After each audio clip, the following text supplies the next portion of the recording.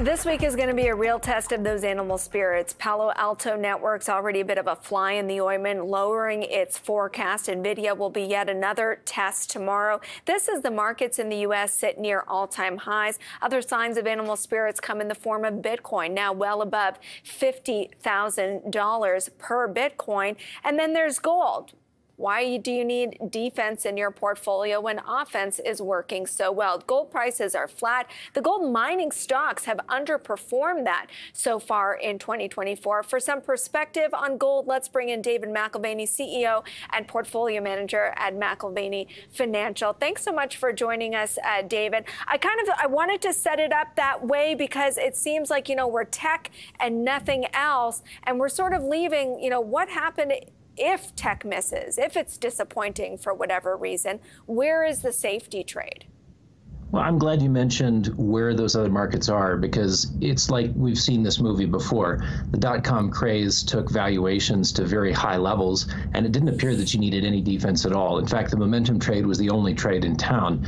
And then, you know, a later iteration was crypto. Now we have AI, and it's almost like a disease of the mind for investors and analysts. They can't think except in infinite terms. There are no limits, and it becomes irrational, frankly, the kinds of numbers that you you can put up there. And Nvidia is just a, a classic example. Nvidia is, is trading at 97 times earnings, and you know that that's a long time to wait to see a money to see money actually roll back to investors. It's a speculation. It's a it's a reflection of where we're at in a cycle. And as that cycle turns, I think you see the value of, of a hedge. So gold is underappreciated today by Western investors, and gold shares are very underappreciated by Western investors. Meanwhile, in the East and other parts of the world, there's a cognizance of the need to own it. it. it's they're already in line. They're already getting it. In fact, there's so much of a line in Asia that you're seeing premiums paid for bullion. Yeah, 271 tons came off the Shanghai Gold Exchange last month. 320,000 ounces were bought by the government uh, to replace dollar reserves. I mean, th- there is a huge demand for gold everywhere but in the West because we are enamored with the newest, shiniest, most fascinating thing, and AI happens to be it in this part of the cycle. And I mean, we should caveat that gold is by no means in the doldrums, right? It's just been hanging out at close to record levels. And, and I would say that's even more astounding given that it's coincided with a, a rally in the US dollar. Amber, you're so right because typically traders will say, yes, but if the dollar's strong, gold must be weak. And that can be the case in the short run, but there are many instances where both can move together. And I could see a scenario where the dollar trades significantly higher on the basis of global recessionary concerns and, and sort of fracturing within the global financial markets. And so the dollar playing sort of a safe haven role on the other hand, gold as a safe haven, it's already playing that role, and it's getting the benefit of, of you know, thousand tons per year now, two years in a row from central bank buying. Why are they buying? Will that change? That, that, that's a good question.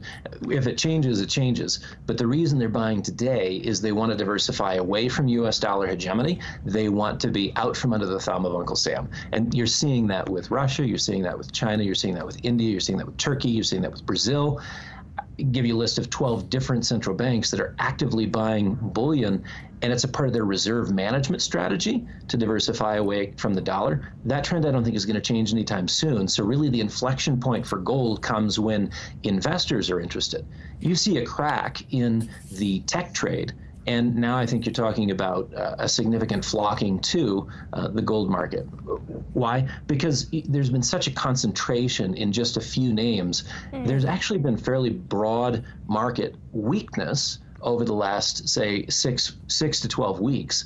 And and and so looking at a broader measure of, of the markets not just the mag 7 not just the ndx not just spy uh, you see you see some lackluster performance certainly on a relative basis. Nothing's keeping up with those five to seven names. So you get one of them just one of them to disappoint in terms of a future outlook. And i think that's what you're seeing with with with palo alto today. Even the thought of a disappointment in the future and you realize you're way too far out over your skis. You overcommitted, and now it's time to pay. And that is what we're seeing right now with Palo Alto, with the caveat that their conference call hasn't begun. But uh, yeah, Palo Alto is still down about uh, 12.5%. I want to pick up on a point because your views on bullion, these miners have underperformed um, even just the, the gold price holding in. Um, what does it take to get them moving again? Yeah, well, it is really the Western investor who has to take an interest in gold. But what the Western investor doesn't realize or appreciate at this point is what a different batch of companies these are from 10 years ago.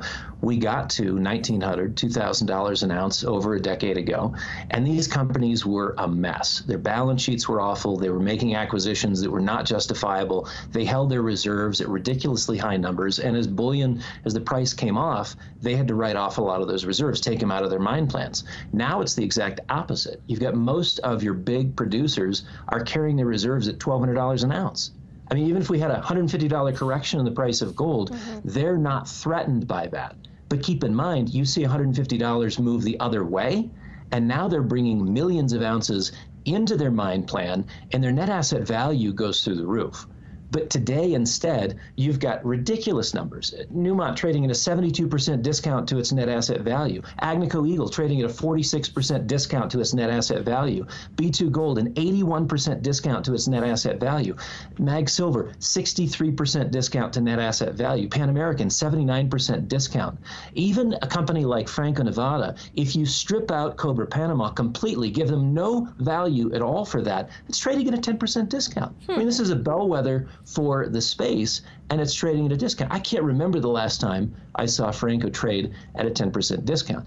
It's an asset class that has been neglected, and nobody's paying attention to the fact that they have healthy margins, healthy balance sheets, and any any incremental move higher, it's not just current production that's included in NAV and, and, and current resources that are included in NAV. There's a bunch of other assets which they get to bring into the, their NAV calculations. So I think you can see prices radically higher off of very low levels. And you're talking about gold trading at near all-time highs, and yet these are trading at, as if gold is five, six hundred dollars cheaper. It's Amber in, in my book. It's patently absurd.